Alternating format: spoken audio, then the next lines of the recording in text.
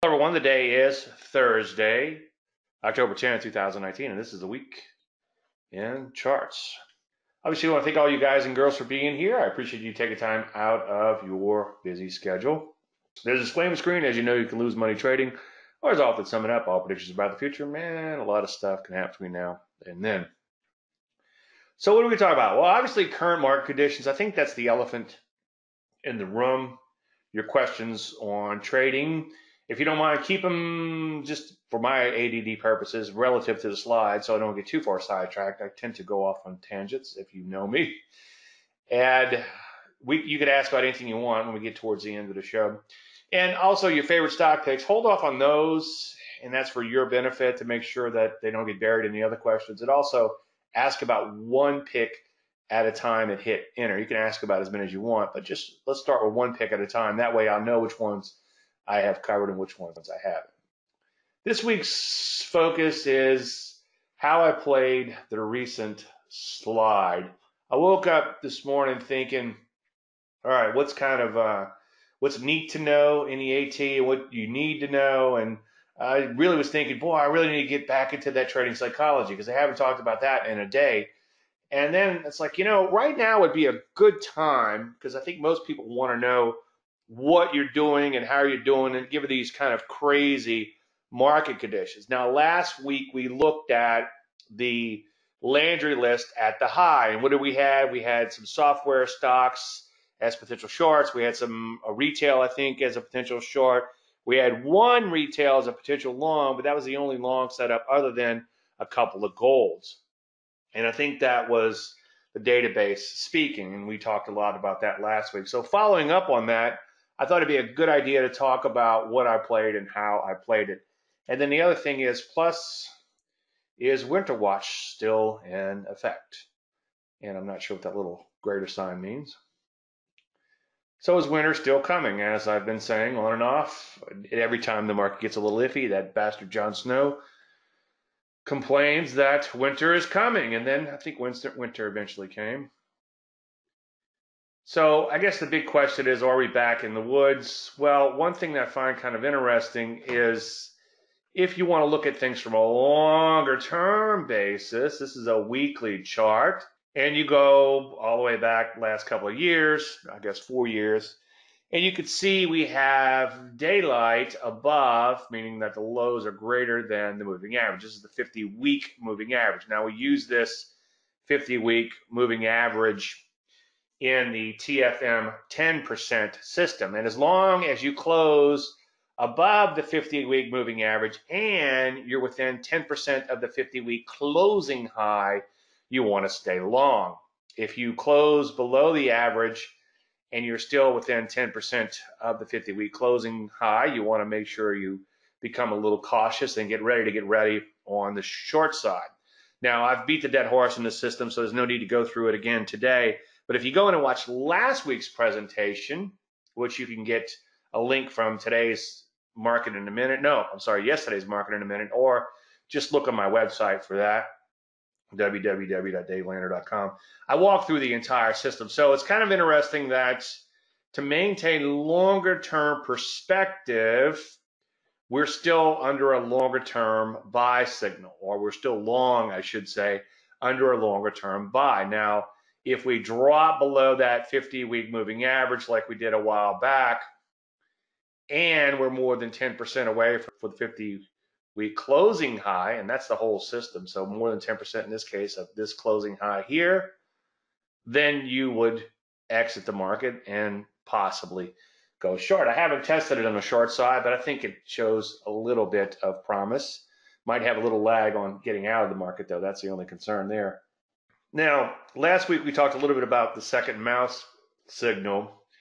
And the second mouse means the early bird might get the worm, but the second mouse gets the cheese. So we had a bow tie back in August when things were looking a little iffy, and it triggered, and the market sold off a little bit, but didn't come unglued. But what's interesting is we never got past that prior high, and then we had a secondary bow tie or a second bow tie, which officially, as of yesterday, is a complete signal. We had bow tie a few days ago, but until and unless you have a higher high and higher low, which we had yesterday, the signal is not complete. So the short would be below yesterday's low on that.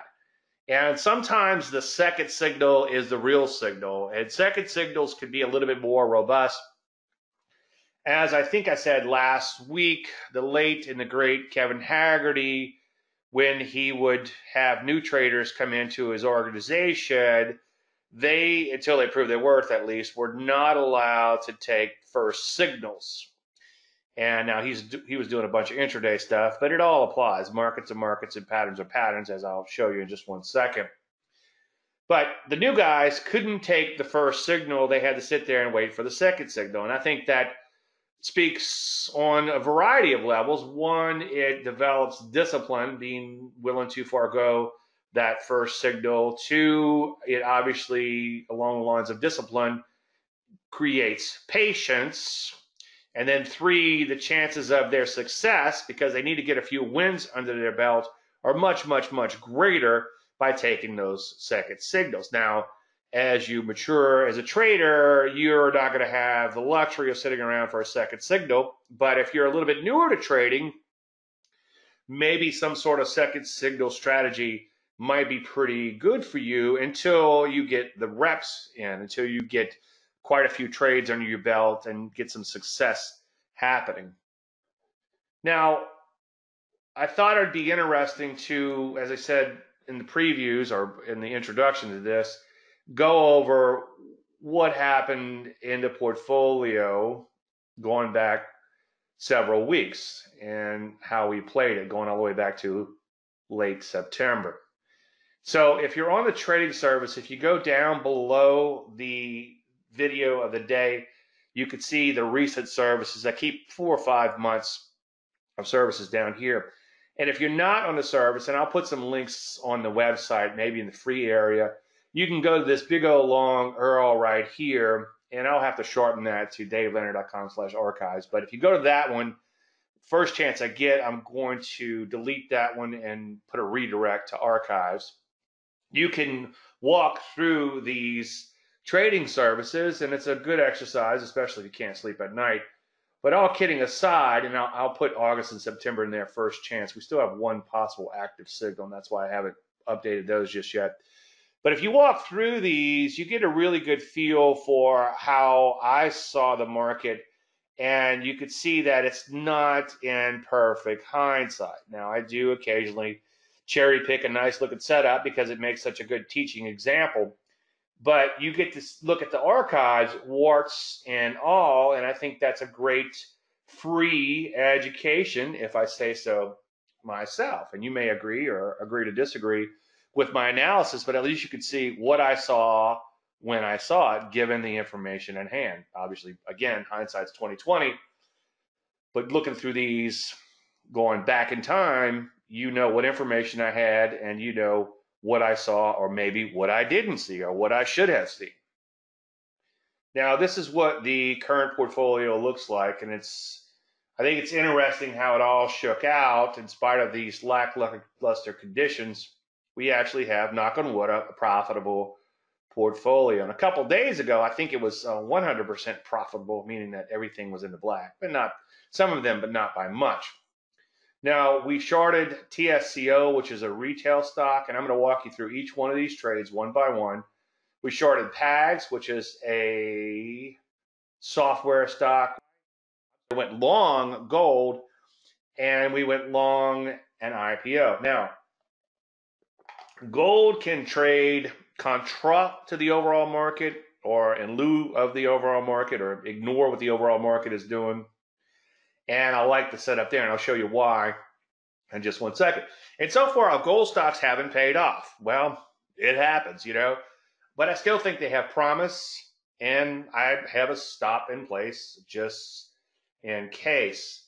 Now, we did go long one stock in spite of the overall market conditions, and that was because it was a more speculative issue and an IPO, and also Chinese. So sometimes these super speculative issues can move independently of the overall market. And I thought it was worth going after. And so far, today notwithstanding, one F bomb aside so far, it's worked out pretty nicely.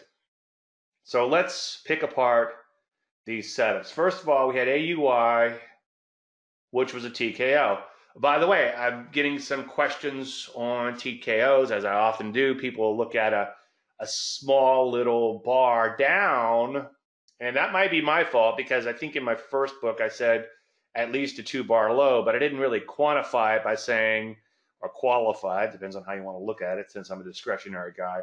But I didn't qualify it by saying that it really, really has to be a wide range bar down because you have a lot of little two bar moves but in addition to two bars, it needs to be a wide range bar down. It should stick out like a sore thumb. So if you're looking at this trend from the June lows in here, or the May lows, I guess in this case, you could see you really don't have that many wide range bars, and all of a sudden, bam, you got this huge wide range bar down. So that's why I liked it as a TKO.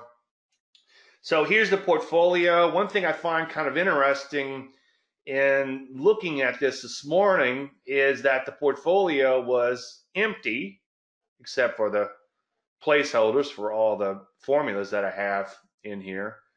And by the way, I think I have this spreadsheet. If you go into members resources under the members area, I do have this spreadsheet available to download if you want to plug your own trades in or follow along at home with the stuff that I'm doing.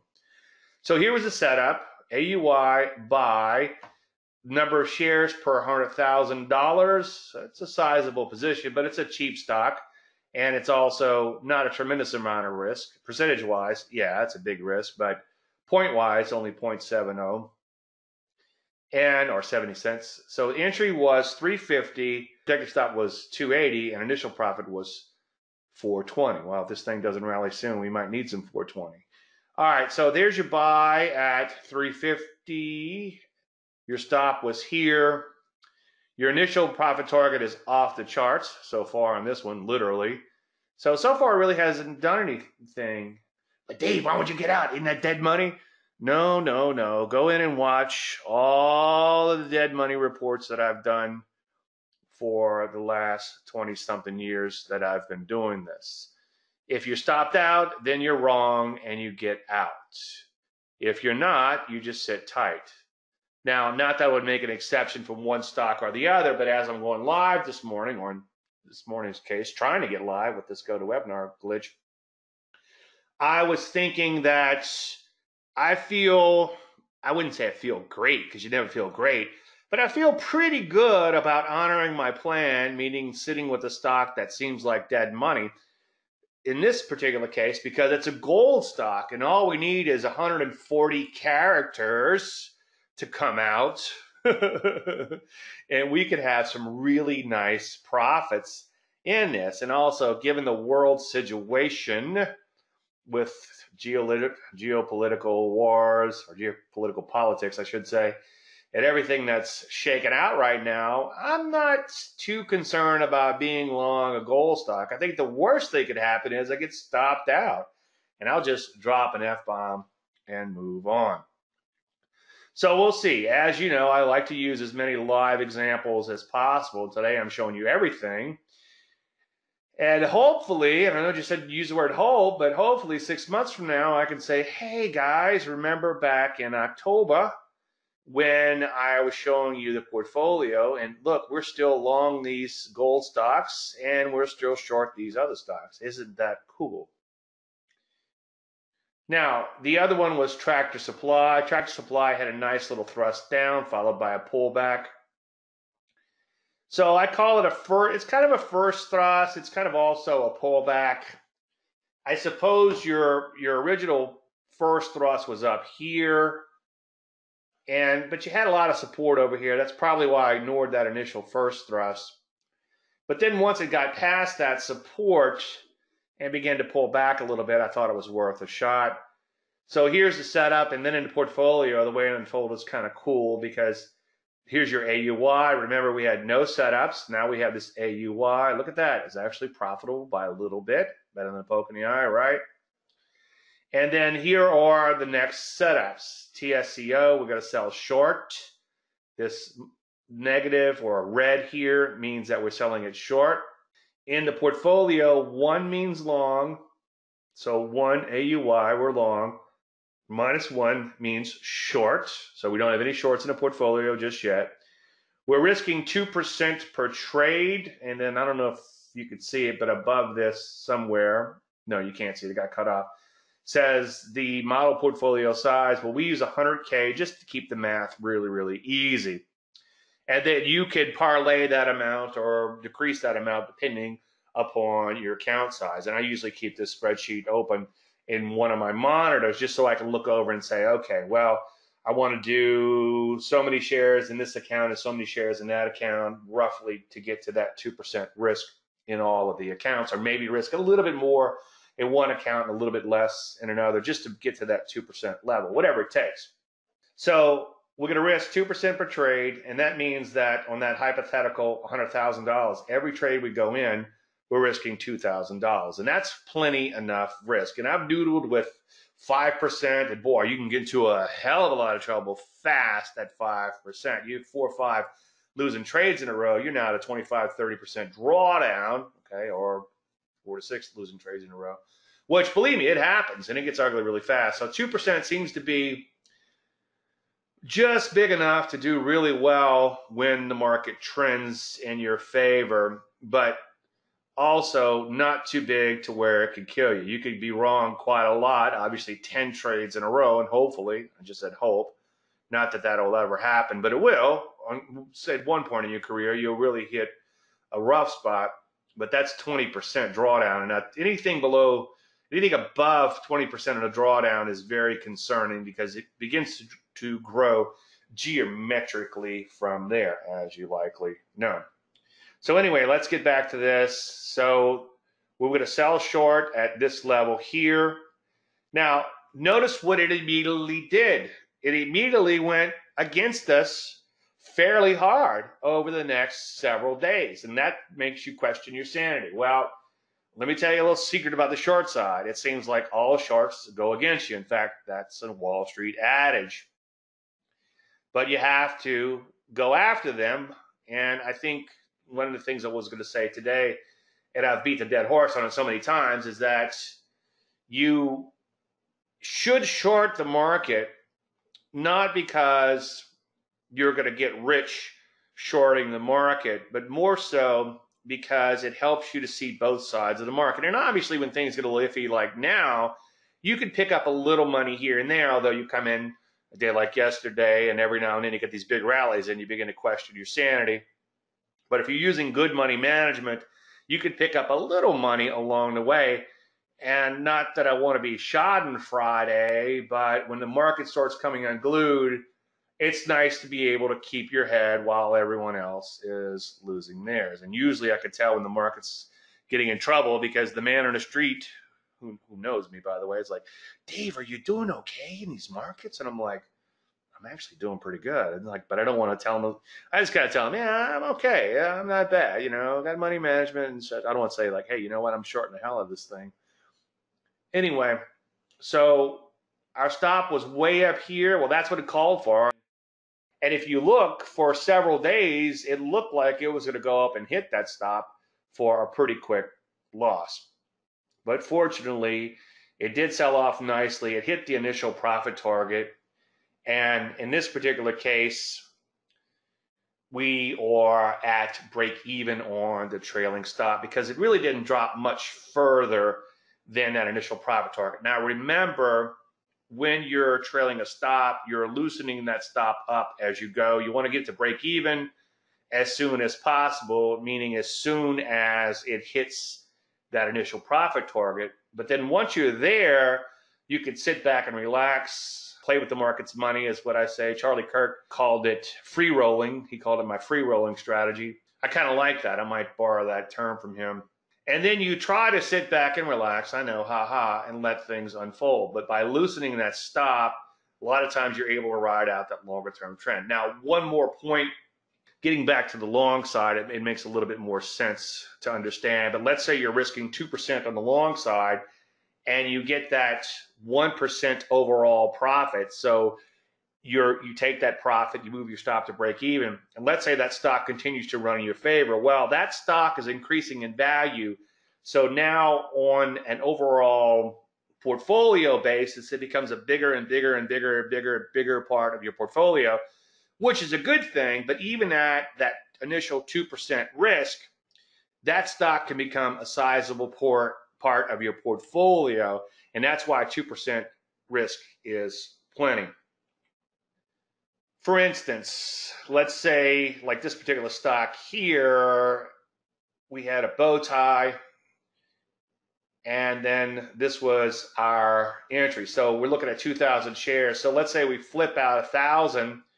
Well, we got a thousand shares at let's say six bucks after we hit that initial profit target. So we got six thousand dollars in this stock which is 6% of our entire portfolio is in this one stock, which is not too bad. But let's say, and we can only dream, but let's say the stock goes to 12, and we had some $5 stocks many, many years ago go to 30. So this is totally plausible.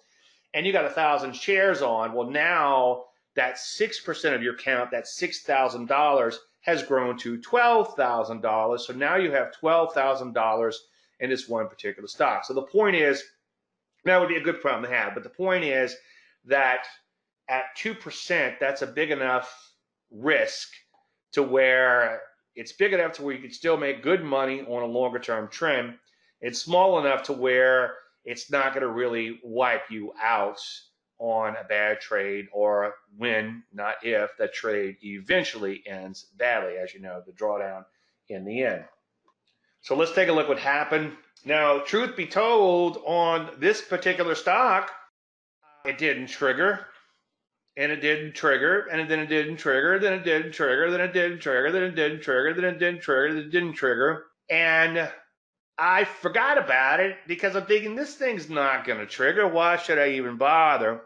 And one of you guys had a question on it or something, and all of a sudden it woke me up like, wait a minute, this thing just triggered or was getting ready to trigger and I nearly missed the trade. And that's the tough part about trend following. And I didn't have enough time. I wanted to put a little graphic in here that it came that came out of the Facebook group, which is really funny. Somebody drew shared a graphic where it like flatlined forever, and you had the one big trade, and then it flatlined forever, and that's kind of like the life of a trend follower. And I added a joke to it, like, okay, you go on vacation the day before that huge winter comes in, but that's the truth in this. A lot of times, these outliers they can be a little elusive, and I know over the years I've made that sound too elusive, but the reality is they can be, and you really have to work hard at this game. Ninety percent of the time, there's nothing to do. Maybe even 95% of the time, once you place your orders and everything, you go about your life. But every now and then, that 5 to 10% is really crucial to make sure you're able to lock in a big winner like this. So that was our buy. Our stop was down here. And then on the first day in, we hit that initial profit target and we trailed our stop higher. And I decided to give it a little bit of wiggle room as opposed to trailing it tighter to hopefully capture a longer term move because you almost know when you have a 60% move in one day on a stock, you almost with some certainty know that it's going to correct. You just don't know if it's going to happen tomorrow or the next day. It might run another 20, 30% over the next few days, which would be fantastic. But it's also going to correct pretty hard. So you've got to give it a lot of room. And so far, it hasn't done much since it has turned into dead money. But I'm not going to exit it because I'm going to follow the plan. It's like I wrote in that Why I Teach article. It makes me be a better trader, which makes you be a better trader because as I become better, you become better, and it's very cyclical. But putting out a recommendation to buy a stock, and then I have to force myself to remember to buy that stock. And then I have to force myself to practice what I preach and follow the plan.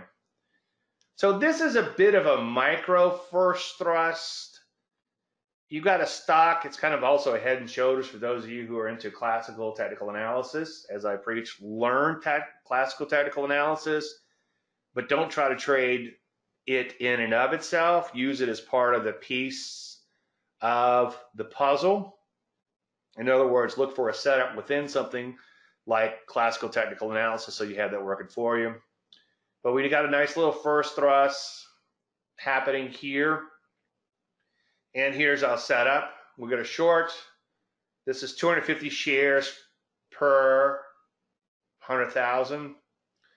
And we have 44.50 as the entry, 52.50, and we're going to risk eight points on that. So this is what that looks like.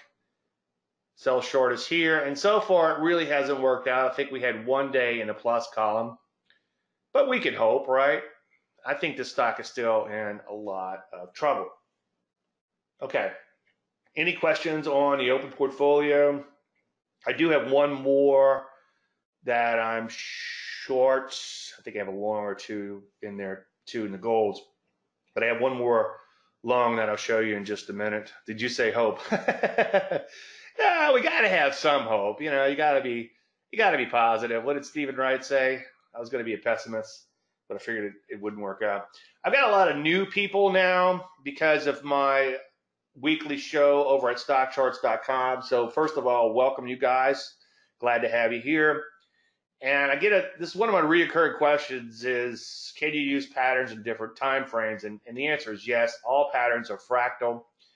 So on the hourly chart, if you go back to the peak of the S&P, the recent peak that is, back in September, you could see that we did have a bow tie down. So yeah, you can use bow ties or other setups on an intraday basis. Frenchie says, What day and time are you on stock charts? I'm on every Wednesday at noon Eastern. And the name of the show is Trading Simplified. And if we get a chance, we could pull that up in a minute. But if you go to stockcharts.com slash TV, you can get the show there. And yeah, I'd love to have you guys there. We had uh, we had like a thousand people live yesterday, 900 and change, and that was exciting. you know, right before the producer told me, yeah, we got a thousand people today. Oh, okay. So this was a sell signal for the hourly chart. Okay. Any questions on any of that? We'll get into the live charts. I'll show you one or two other trades that I'm working right now. This is left over from last week. I've got a lot of questions on psychology, so I would highly recommend you take the mindset course under the members area. And the reason I created this learning management system is one, obviously for personal gain. Obviously, I get paid if you become a member. But one of the main reasons was I realized I was ineffective in trying to teach everyone on a one on one basis. And then even people that I work with for years were missing quite a few pieces and they were having some psychological issues or psychi- uh, psychology issues, I should say, maybe some psychological issues too, like we all do. And quite a few were asking a lot of questions on money management. I'm like, well, geez, I preach this over and over. You should know it. And then once we started this learning management system, it made me realize that, well, by looking at the course progress, if you're asking a lot of money management questions, finish the money management course first and let's see where you are. And if there's anything that's missing, then I can turn around and make that better. In fact, the Q&A is really, we really got a fantastic archive of great material in the Q&A. And I think I'm gonna need to re- incorporate a lot of that into the learning manager system because one thing that I was thinking about lately is what new material do I want to bring in to this members area? And I think that has happened organically, if that's the right word, through the Q&A because we've got some great tons of questions on the opening gap reversals, questions about automated trailing stops, a lot of things about how to do opening gap reversals with hands off type of trading. And then in more recent times, we'll be getting some questions about the psychology. So pretty excited about all that. Pretty excited about this members area. I know I'm a nerd. If you are a member of DaveLandry.com, you have to be a member, and that's to keep the riffraff out. I'm half kidding. Make sure you join the Facebook group, which is at the top of the members page. Also, I get a lot of questions on where's this and where's that. If you go to the members area, and this has been updated since then, but if you go to the members area down here, you should be able to find pretty much anything that you need, okay? And you could also find members resources, which should be down here somewhere. And that's where you'll find the spreadsheet and some of the other goodies that I give out to the members, scans and things like that on things of that nature. Anybody remember the the old uh, Arnold Schwarzenegger I used to do? All right, let's get the uh, telecharts shared and up and running, and then we'll open it up. If you guys want to start asking about individual stock questions, feel free to do so. Your favorite stock picks while we get this up and running. So let's start by looking at the, yeah, keep them coming. Good, good, good. We'll start by looking at the overall market. So today, I guess, is kind of exhibit A about the short side. It's, there's no free lunch. It's like you feel really good when the market sell it off hard, but then you get absolutely creamed. And I just walked over to my trading system, trading system, trading screens, and then uh, had to catch myself from dropping an F bomb. Let's take a look at the P's. As I said a minute ago, we do have that bow tie down. Bow ties after all-time highs, in this particular case, close enough for government work because this is a second mouse signal, as we discussed earlier. This is really close to all-time highs. Technically, this signal is still in effect until unless you take out those old highs. Not that you would stay short and be obstinate through all that. But we're getting a little bounce today. As you know, the retrace rallies can really suck on the short side. But I think it's important to short for the aforementioned reasons. Now, if you didn't know anything about markets, you could say, well, I know a little bit about the net net, and we're kind of wide and loose and sideways here. And on a net net basis, we haven't gone anywhere in a long, long, long, long time, all the way to September of what? 2018. So that's over a year ago. Now, obviously, we worked our way higher since. Shorter term, we're wide and loose. Much shorter term, we're in a bit of a spill, as illustrated by the bow ties. Now, I guess over the last couple days, we've traded higher once again. But even with today's rally, you can see, let's see where we are. We're still in a bit of a slide lower. Obviously, honor your stops just in case. As I often say, not that I want it to happen, but I'm perfectly okay with getting stopped out of all my shorts, provided that the market follows through to the long side and I can start buying a bunch of stocks and make a bunch of money on the long side. I don't care which way the market goes. I think Gary Kaltbaum once said, give me an uptrend, give me a downtrend, or give me a ticket to Tahiti. I would much rather just sit back and relax in a longer term up bull market than fuss around with these shorts. All right, we'll get to that, Donald. Good observation. So NASDAQ up a little bit. NASDAQ looks a little bit worse than the P's, but not much. But they both look kind of dubious at best. As you can see, NASDAQ sideways like the overall market. NASDAQ double mouse or second mouse signal in here. Actually, kind of a triple mouse signal. That's kind of interesting. First time I'm seeing that. The other thing too is what did we talk about earlier? Classical technical analysis, and in some cases, let's see if we could draw it in. Yeah, keep the picks coming. I'll get done in just a minute. I promise. I promise. I promise. So we had a peak here, and then we had a peak here, and then we had another peak here. So that looks a little bit like a head and shoulders to me. Not perfect, but sort of. And I do like the fact that this right shoulder is a little bit higher than the left. I'm not sure where I learned that, if it's through observations or what, but I think that this, when your right shoulder is higher, I think it kind of fakes people out a little bit, making them thinking that, making them think that it's going to go back to brand new highs. So from that aspect, it does look like a big potential top is in place.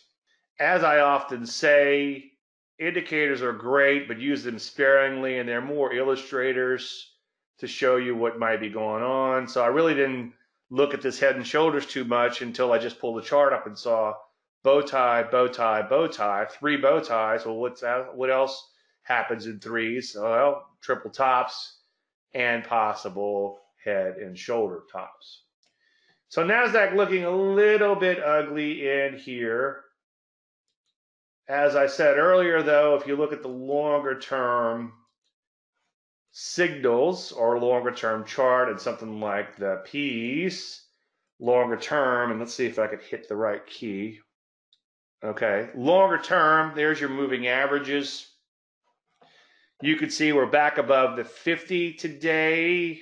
The 200 is still headed higher. Okay. So that suggests maybe the longer term trend is still intact. Will we get a death cross if this 50 continues lower? It might because you're going to be adding in some lower prices here on the 50 and then you're going to be adding in some higher prices on the 200. So that could make an interesting situation where this 50 could cross that 200 not the end of the world on a death, death cross. It's not what happens between death cross and golden cross, meaning the 50 going below the 200 is a death cross and crossing back above the 200 as a golden cross. It's what happens in between. It's the magnitude of the move. If you go back several years, when we had a death cross and everybody was going nuts, the media loves a death cross. Death cross, death cross. But everybody was going kind of crazy. And I went in and said, well, the signal in and of itself has a small edge. Rob Hanna has done a lot of testing there. The number 4% comes to mind. It's not big enough to even bother with. However, the magnitude of what happens in between is pretty amazing, or can be pretty amazing. You can have some pretty serious slides after a death cross to the bottom, to the downside. Now that goes for any signal in the world. You go in and look at some of the, the, the TFM type of stuff, trend following moron stuff, such as just that, the TFM 10% system. And you have some incredibly huge diaper change moments, boring a line from Ian McAvity the late and great Ian McAvity, who I try to channel every time I do a presentation because he gave the best presentations in the world and was funny as hell. But anyway, he called it diaper change moments. Well, if you go back and look at the S&P 500, you take a look at that death cross in 2008. You know, people like, I didn't see 2008 coming. Oh, I, I lost half my money. It's like, well, it's a horrible situation not to make light of the situation because believe me, it was horrible. And I felt horrible for people. But you had a death cross before that happened. You had a bow tied down. You had a weekly bow tied down. You had signals coming out the wazoo. So just for S and Gs, let's just see what that death cross, what's the diaper change on that? 53%, let's just say 54% round numbers from that death cross. Now, sometimes doesn't sell off that hard like this one right here, but sometimes it's good to get out the way, especially if you're at all time highs in a market. Even this little slide back here, which I think every one of us got out of the market on, we got stopped out because we used stops on longs. And I can't imagine it would have to be one good looking long to survive that. But look at this death cross here. That's a pretty big drop after the death cross. And let's just for S and Gs take a look at that real quick. And then I promise I'll get to all those stock picks. We got plenty of time today. So let's see. The death cross was 2763. Death cross was there on 12.7. So let's take a measurement from 12.7 down to the low. This is on a closing basis. That's 11% drop. Well, amazingly, that's the exact diaper change that the TFM 10%, 10% system had too. So by accident, I'm kind of backing into something here by mount, by plotting the 50 and 200 and talk about death crosses, which I did not intend to do today, but here we are. But I kind of backed into something. If you have a signal, take it seriously because you don't know whether or not it's going to be the big one. Elizabeth implied. I've written a lot about that. And then I noticed in Greg Morris's book, Investing with the Trend, and in some of his blogs on stockcharts.com, back when he was running $5 billion or so, he his mantra was we treat all signals as if it will become the big one. And I think you have to treat that. So it doesn't have to be my sell signal, doesn't have to be a Tacros or anything else that's well publicized. It could be whatever you're doing. It could just be the net net price move. Say, oh, if it drops 10%, maybe I need to think about getting out the way because how do I know it's not going to drop another 30, 40, or 50%? And believe me, it happens. NASDAQ 1999, 73% or 80% loss. I mean, that's amazing. I mean, it's, I was drinking my own Kool Aid for a while in the late 90s because I was printing so much money. And I got humbled pretty quick. Don't worry about that. Anyway, I if you'd asked me when the Nasdaq was whatever it was, 5015 or 5150 or whatever it was back then, I forget the exact high. Was the day my daughter was born, which was ironic. But anyway, and you told me that it was going to be 80% lower about a year from now, I'd, I'd have looked at you like you pooed your pants. But it was.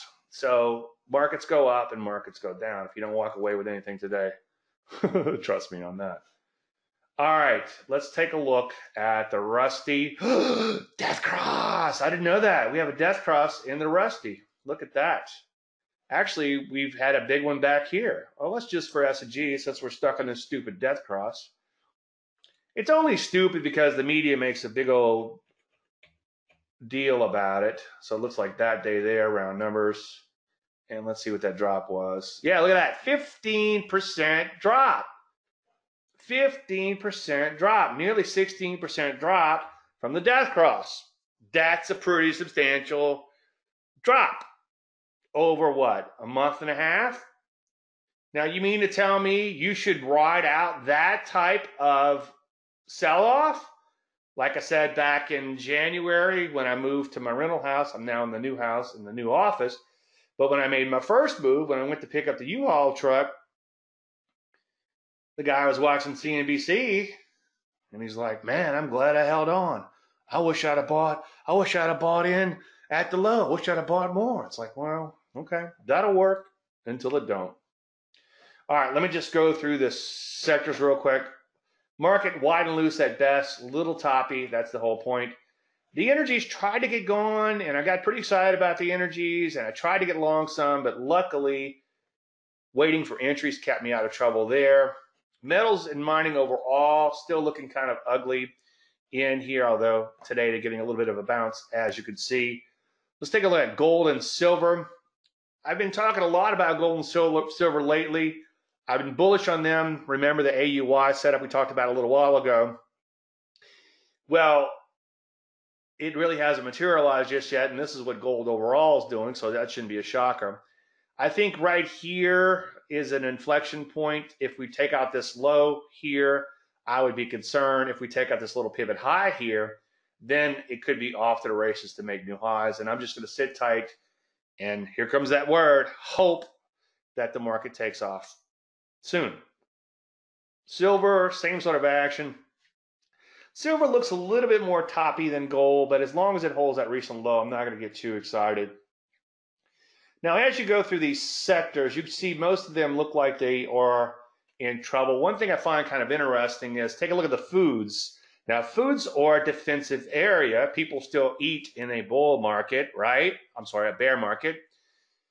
So, food can be a defensive area where it could be a bit of a flight to safety. And that's a flight to safety or relative strength trading in a bear market or a down market is a bad idea.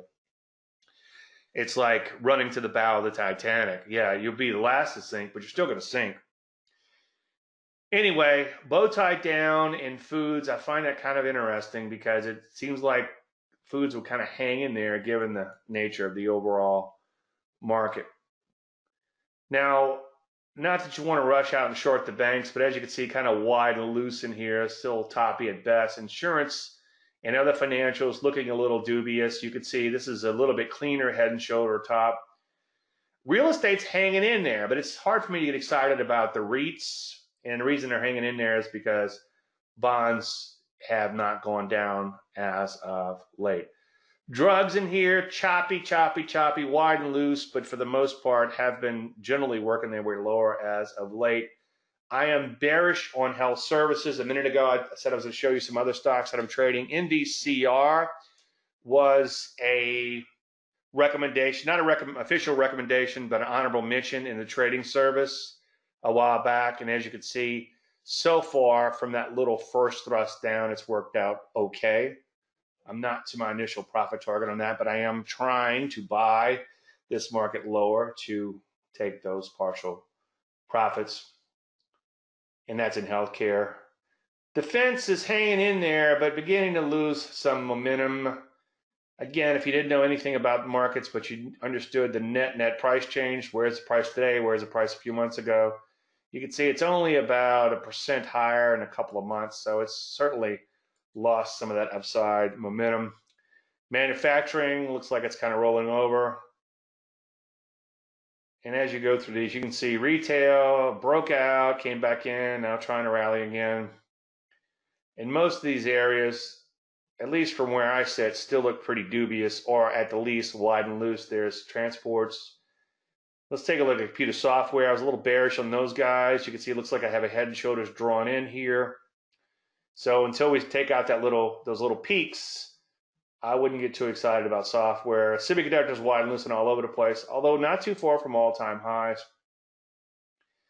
Utilities continue to work their way higher, and that's probably because bonds, for the most part, have been hanging in there. Although now that I'm looking at it, kind of has a bit of a gatekeeper kind of look to it, meaning that it had a sharp retrace higher, and now it's beginning to sell off from that retrace. So bonds could be topping out in here I'm just kind of noticing this today as we look at it. I wouldn't rush out and short them, but they certainly look like they could be in trouble. And just for S&Gs, let's take a look at the dollar. The dollar, for the most part, hanging in there. That might be what's mucking up my gold positions so far. I do have a gold penny stock. Speaking of other stocks that I'm trading, is it AUY? No, it's AKG. I'm long this one from this little pullback back here. Not that I would recommend you rush out and buy penny stocks, but I thought it was worth a shot for an S&G type of trade. All right, let's go ahead and shift gears and get into individual issues. Okay, Donald wants to know about DHT. Okay, it is looking okay in here. I, you know, I need to flesh things out a little bit more probably for the newer guys and girls since we have quite a few of you guys, and I'm, I'm very humbled by that. But in the Facebook group, I said, "Oh, I hate educational stocks," and my wife kind of keeps a loose eye on what's going on there. And she said, "Well, why do you hate him? And I'm like, "Well, everybody knows that." You know, it's like she says, "What if I'm a new person coming in?" I'm like, "Oh, okay, good point." I a lot of times I preach to the choir here, knowing that everybody is up to speed. I did a lot of mechanical testing a while back and uh, a long, long time ago, I did a lot, a lot of mechanical testing, but every now and then I'll dust off the computer and, and just program some stuff in and do some testing. I haven't done it in a while. But a few years back, I did some testing and I could I could make a lot of this simplified trend following work in a lot of different markets, but I couldn't really make it work in the shippers and I couldn't really make it work in the educational stocks. And every time I trade a shipper or educational stock, especially an educational stock, and lose money, uh, that little computer testing voice inside of the back of my head kind of haunts me. Well, Dave, you know you can't make money on those stocks because they don't trend. Every now and then, I think they can trend, but even if you look at this chart, which has blasted higher nicely, longer term, it does look like electrocardiogram. So, what do I think about it? I think it looks interesting. I think if it pulled back a little bit further, it might be worth a shot. My only problem is a lot of these shippers and a lot of these stocks at low levels like this have a lot of overhead supply to deal with. Even though that's a long, long time ago, I think I would pass on that one. I mean, it could turn into a swing trade, but I think it would pass. All right, Donald's bullish on these shippers. Fro, I think, is another shipper, or is that an airline? That's a shipper. That looks kind of interesting. Let's see if we got any bad memories eh, you got some bad memories, but they're a little higher than where we were, and they're pretty long ways away. Let's take a look at the weekly chart. Yeah, you do have some a lot to get through, but this is a little bit better looking stock than the other one. On a pullback, maybe. Okay, a little bit deeper pullback, but good eye on that, Donald, for sure. Donald says some of these shippers are doing really well lately. Yeah, you know what? Let's look at all of them. Take a look at the. Let's sort them by, let's say, 30 day volume. And let's see what we got. Yeah, there's Nat kind of taking off in here. Now, see, that looks kind of interesting. Let's see what happens on a pullback on that one. You know, the problem is they just kind of take off. They kind of blast higher without any warning, you know? But yeah, on a pullback, that might be interested. T and K is another one's kind of blasted higher as of late. And eh, you got some overhead supply, but it's a long, long ways in the past. There's your DHT. This one doesn't look so hot. And it's trying to rally, but it has a amount of overhead supply. Now, Fro, we talked about already. STNG is working its way higher. That one's wide and loose, wide and loose, downtrend. Too many days in the pullback, wide and loose. Let's see if we can find something interesting in here. Maybe on a pullback. That was LPG. Glog wide and loose, SB wide and loose. See how they mostly wide and loose? See how they take off and then implode? it could be kind of frustrating. Salt wide and loose. CMRE. Eagle. Let's just go through a few more, get to the thinner issues, see if there's anything there. See, that would catch my eye. Let's see what's going on longer term. Let's take a look at the weekly chart. Oh, look at that. So that's kind of interesting. That's kind of in new territory. Um, wide and loose longer term, but at least it's in new territory. Maybe on a pullback. INSW, put that on your watch list. And I think we're pretty much done with the shippers. Let's see what that is. That's kind of thin. I don't like that gap down. Yeah, I wouldn't take it due to that gap down. All right, I think that's enough of that. DSSI. Any other stock picks you guys want to take a look at? Yeah, it's another shipper. Yeah, this is a newer issue, so this might be worth watching. I'd prefer a trend to be more than just a few huge bars on a breakout. I'd almost prefer if we had like 10 mediocre bars and then two or three big bars like this in a longer term trend. Maybe on a pullback. We'll I'll know it like Justice Justice Potter Stewart. I'll know it when I see it. All right, any more? Got a quiet bunch today. Don't be afraid to speak up. I won't beat you up too bad.